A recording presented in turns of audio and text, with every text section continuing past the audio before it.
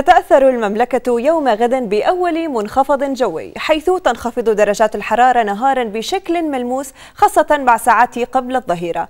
وتعبر البلاد جبهة هوائية باردة وتتكاثر السحب على ارتفاعات مختلفة في كل من شمال ووسط المملكة وتتهيأ الفرصة لهطول زخات رعدية من المطر بمشيئة الله. وللحديث عن تفاصيل هذا المنخفض معنا على الهاتف المتنبئ الجوي في موقع طقس العرب محمد الشاكر. مساء الخير محمد. مساء النور يا هلا. حدثنا عن هذا المنخفض وماذا يمكن أن نتوقع خلاله وكم سيستمر تأثيره على المملكة؟ أكيد طبعا مساء الخير لكم جميعا ولجميع الإخوة المشاهدين. الحقيقة تتأثر المملكة يعني اعتبارا من ساعات صباح يوم غدا بمنخفض جوي. طبعا يعتبر هذا منخفض مبكر وغير اعتيادي لمثل هذا الوقت من العام.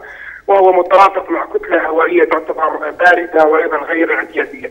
من المتوقع نهار غد أن تنخفض درجات الحراره بشكل ملموس يعني درجات حراره النهار هذا اليوم سجلت تقريبا في العاصمه في بداية الثلاثينيات، غدا تهدت درجات الحراره العظمى إلى حوالي منتصف العشرينيات، الأجواء تكون خريفية في أغلب المناطق. وكما ذكرت انت سابقا هناك من مشيئه الله تعالى المتوقع أن تبدأ الأمطار بالهطول الرعدية منها في المنطقة الشمالية، تكون هذه الامطار حقيقة بالرغم باننا في ما زلنا في شهر أيلول بأن تكون غزيرة. لبعض الفترات في المنطقة الشمالية ولا يستبعد أيضا تترافق أحيانا مع تساقط لزخات البرد. هذه الأمطار يعني في ساعات الظهيرة والعصر لا يستبعد أيضا أن تمتد نحو أجزاء من المناطق الوسطى من المملكة بما فيها أجزاء من العاصمة عمان وتبقى نفس الخصائص مرافقة لها وبالتالي لا يستبعد أن تكون هذه الأمطار في بعض المناطق غزيرة أيضا لفترات محدودة ووجيزة. نعم.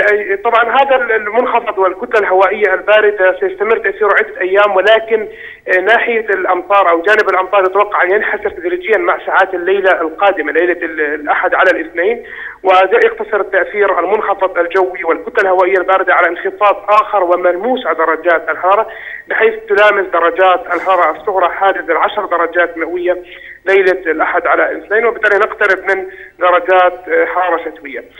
في ظل تاثر المملكه بهذا المنخفض الجو هناك طبعا تحذيرات مهمة نعم. نود أن نطلقها غدا وهو طبعا أهم شيء من خطر حدوث الانزلاقات على الطرق مم. كوننا طبعا في بالمثل المعروف بأننا إحنا في أول شتوى وبالتالي الانزلاقات ستكون خطر محدث غدا على الطرق التي ستتعرض لهطول الأمطار، أيضا هناك تحذير من خطر الانقلاب المفاجئ بالأجواء وأخيرا هناك تحذير من خطر تشكل السيول نعم. حقيقة في بعض الأودية والمناطق المنخفضه لا سيما في المناطق الشمالية من المملكة. نعم المتنبئ الجوي في موقع طقس العرب محمد الشاكر كنت معنا عبر الهاتف شكرا جزيلا لك.